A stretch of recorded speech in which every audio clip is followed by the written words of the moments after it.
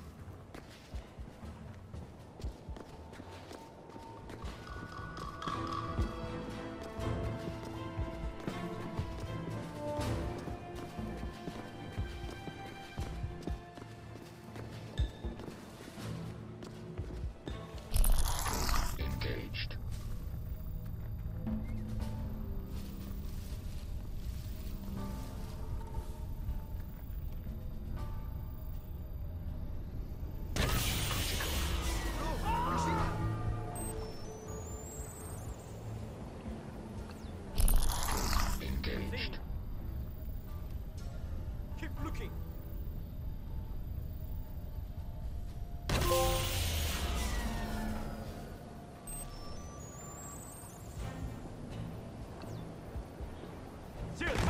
Zero,